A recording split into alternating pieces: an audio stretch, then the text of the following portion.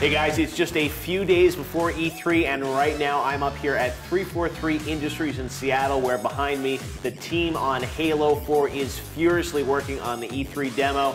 I'm here with Josh Holmes, the creative director. So, Josh, a lot of late nights lately getting ready? Yeah, yeah, the team's working really, really hard. It's been uh, three years since we started working on the project, and this is going to be the first time that we actually get to show the world our vision for Halo 4. Uh, you gave me a bit of a sneak peek earlier today. It definitely looks very epic. Uh, what can we expect in the briefing? I'm sure you can't tell us a lot. So we're going to be kicking off the briefing, so people shouldn't miss the first 10 minutes. We're going to be doing a full-blown campaign demo of Halo 4. So this is the most ambitious campaign of any Halo game to date, and we're going to be showing a few things, a few surprises. It's going to be awesome.